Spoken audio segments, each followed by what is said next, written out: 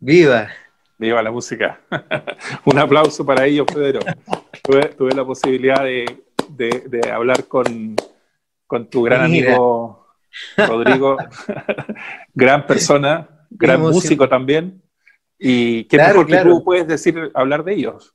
Sí, eh, gracias Enrique por sorprenderme. Eh, se trataba de Rodrigo Kovacevic, músico chileno, compositor, eh, etnomusicólogo también, y eh, también conocido como Rodrigo Kowasi por su nombre artístico, fonéticamente traducido al quechua, eh, a raíz de su, de su etapa que, vivió en, Ecuador durante un tiempo largo, donde también tocamos juntos.